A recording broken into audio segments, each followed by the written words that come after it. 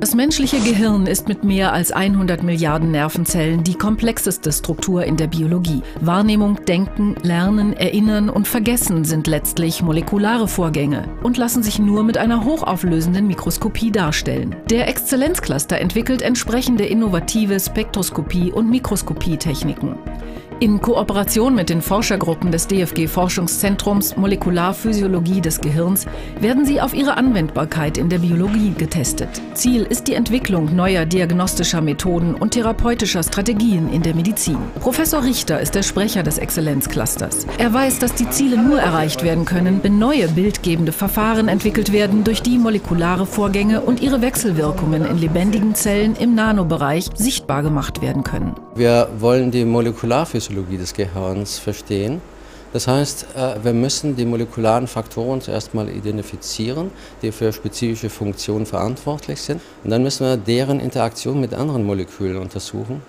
Das nicht nur auf der Einzelzellebene, sondern auch in neuronalen Netzwerken. Das Hirn besteht aus solchen Netzwerken und letztlich ist auch das Ziel, Hirnfunktionen verstehen zu lernen. Die Forschungsaktivitäten sind vielfältig. Im Labor von Professor Schild wird untersucht, wie Duftstoffe detektiert und kodiert werden. Diese komplexen Reaktionen lassen im Gehirn ein neuronales Abbild der Geruchsstoffe entstehen. Mit einer in seinem Labor neu entwickelten Mikroskopietechnik können diese Prozesse in ihrem zeitlichen Verlauf verfolgt werden. Das Besondere ist, dass dabei Hunderte von Nervenzellen, die an der Rezeption des Riecheindrucks beteiligt sind, gleichzeitig erfasst werden können. Diese Technik ist auch in vielen anderen Teilen des Gehirns anwendbar und wird damit zur Aufklärung normaler und pathologischer Funktionen beitragen. Ganz wichtig ist dabei eine Methode, die wir in letzter Zeit hier entwickelt haben, das sogenannte Activity Correlation Imaging.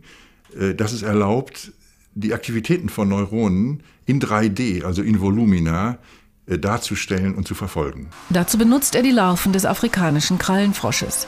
Sie sind weitgehend durchsichtig und daher mit optischen Methoden besonders gut untersuchbar. Die Doktoranden von Professor Schild arbeiten mit diesen Modellorganismen.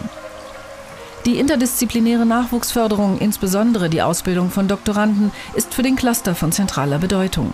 Was hier besonders wichtig ist für uns, was die Nachwuchsausbildung betrifft, sind zwei äh, Promotionsprogramme, eins in Richtung Biophysik und ein anderes in Richtung Neurowissenschaften. Und die Leute, die dort arbeiten, sind für die Labors, die wir hier haben und im Exzellenzcluster besonders wichtig. Professor Zweckstetter arbeitet mit der Magnetresonanzspektroskopie.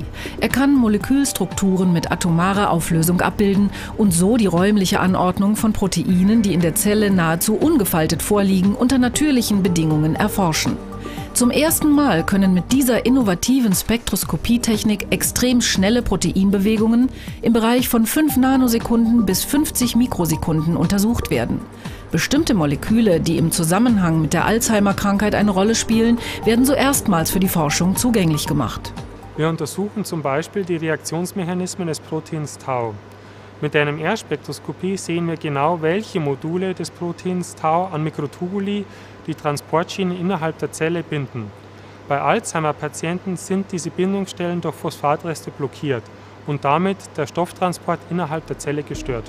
Das STET-Mikroskop ist weltweit einzigartig und eine technische Revolution in der Lichtmikroskopie. Erstmals kann eine Bildauflösung im Bereich weniger Nanometer ermöglicht werden. Nun sind Untersuchungen von zellulären Vorgängen in lebendigen Zellen auf molekularer Ebene möglich, die bisher für unrealisierbar gehalten wurden. Erfunden hat es der Physiker Professor Hell. Der Nachwuchsgruppenleiter Dr. Rizzoli nutzt das STET-Mikroskop, um eine molekulare Kartierung der synaptischen Prozesse des Gehirns auf der Nanoebene zu erstellen. So sollen normal normale Funktionen des Gehirns auf der molekularen Ebene analysiert und schließlich auch Fehlfunktionen verstanden werden. Ein so ambitioniertes Projekt kann nur mit einem bildgebenden Verfahren höchster Auflösung wie dem STET-Mikroskop realisiert werden. Ziel dieses Projektes ist es, diesen Paradigmenwechsel in der Lichtmikroskopie direkt für die Neurowissenschaften, zum Beispiel die Funktionsanalyse von Synapsen, zu nutzen.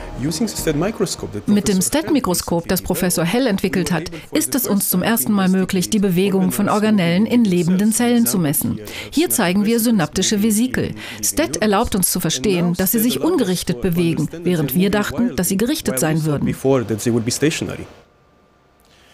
Seit mehr als 130 Jahren nahm man an, dass die Auflösung eines Lichtmikroskops prinzipiell auf 0,2 Mikrometer begrenzt ist.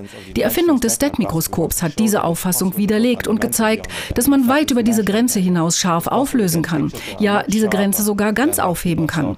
Heute können wir Bilder aufnehmen, die deutlich schärfer sind, dreimal, fünfmal schärfer und so weiter. Die Auflösung ist prinzipiell unbegrenzt und nur gegeben durch die Größe des Moleküls. Es gibt also eine Menge zu entdecken. Es eröffnet sich wörtlich eine ganz neue Welt. Der Cluster wird sich weiterhin diesen elementaren Prozessen des Gehirns widmen, um sie in einer Auflösung zu studieren, die bisher dem menschlichen Blick entzogen war.